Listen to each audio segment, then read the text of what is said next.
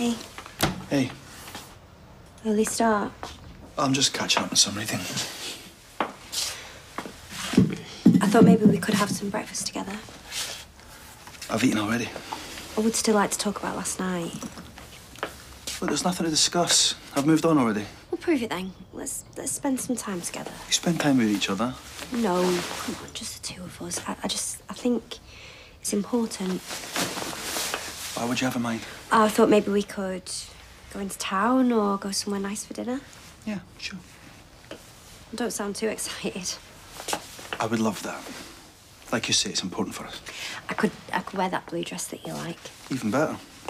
I better go. Do, do I not get a kiss goodbye? Yeah, sorry.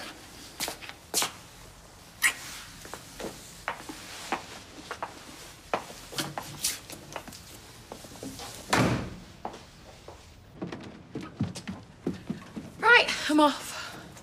Okay. You decided what you're going to do yet? Yeah, I'm gonna tell her everything and hope she understands. Yeah. Be upfront and truthful. Yeah, it's just that stuff I did with Griff. Uh, It's history. It's who you are now that matters. And the fact that you're willing to tell her that will show Beck. yeah, it's like Gail always says. Honesty is the best policy. Exactly. Unless it's, you know, bad hair day. Or anything weight or fashion related, then you're asking for trouble. See you later, love. See you later.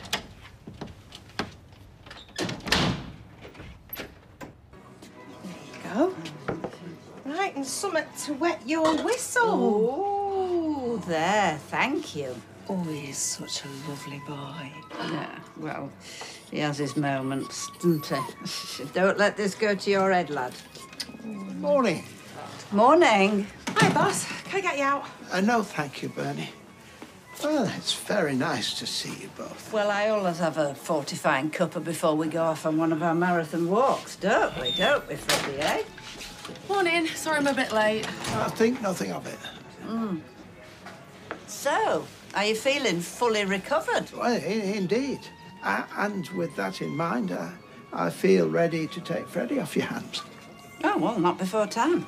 I thought perhaps I could pick his things up later on. Yes, yes, whenever you like. You hear that, Freddie? I mean, obviously, I'm, I'm more than happy for you to walk in this morning. Oh, don't do me any favours. Well, if you would prefer not to, Um, no. No, I'm up and about and ready. Never let it be said that uh, Evelyn Plummer only did half a job. well, thank you.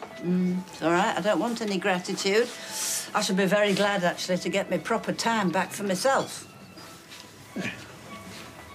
I'm gonna make it anyway. Pack your bags and morning. That better not be Paul's file.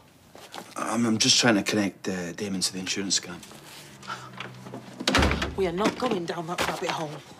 Well, at least tell me who beat Damon up. I don't know. And even if I did, I wouldn't tell you anyway. Listen, Dee No, you listen. This case is dead. I buried it for Paul's sake. I'm not going to involve Paul. You won't do anything full stop. Why are you protecting Damon? It's you I'm protecting, you idiot. And don't give me the old he's the bad guy spiel, okay? This isn't some righteous crusade. This is about you wanting payback. So even if it was, what's the problem with that? Uh, beside the fact that you're not Jason Statham and it's completely unprofessional. So I'm just meant to suck this up, am I? Precisely. Look, I, I want your word, Adam, that you will leave this alone, or else you and I are gonna have a serious falling out. Well, Okay, you got my word.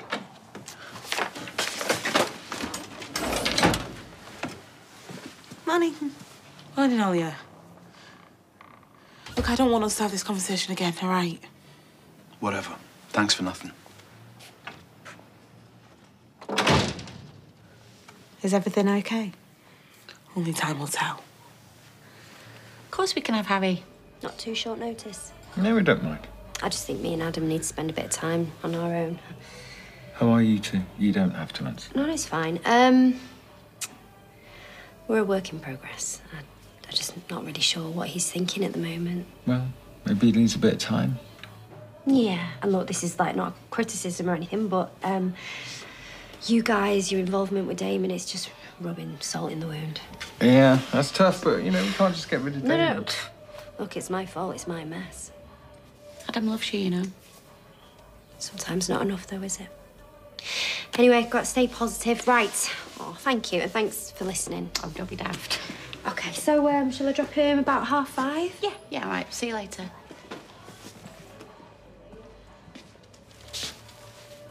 Morning. Morning. She okay? Never mind, Sarah, you're late. Yeah, sorry. I got off the phone from Lindsay Graves, who runs the Weatherfield Market Association. Yeah, I know Lindsay. Anyway, I've booked us an appointment to go and have a look at a couple of spare pitches tomorrow. Well, you're not messing around, are you? Well, unless it's with somebody else's wife. Leanne. It's okay, Nick. I deserved that. Look, I'm offering a business opportunity here. If my personal life is a problem... We're on board, like you said. You know, it's a good investment. I told you, mate, it's a license to print money. You won't regret it. Famous last words. Did you have to go there?